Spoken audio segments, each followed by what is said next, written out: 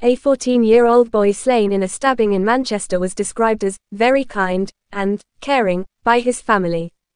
Nathaniel Shani was discovered Friday at Tavistock Square in Harpurhey just after 1830 British summer time, and he later passed away in the hospital. Two boys, 13 and 14, who were detained on suspicion of murder are still being held. The loss of Nathaniel leaves our hearts broken, according to his family, who also noted that he was always thinking of others. The family said in a statement in honor to Nathaniel, he never failed to make people laugh. Nathaniel was many people's best buddy. At the crime scene that has been cordoned off and where the team was stabbed, tributes and flowers have been left.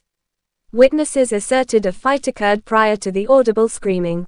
Saeed Qayyum, a resident, told the BBC that there had been a significant altercation amongst children. There was blood on the corner, and one child was yelling, Call an ambulance, call an ambulance. It's awful.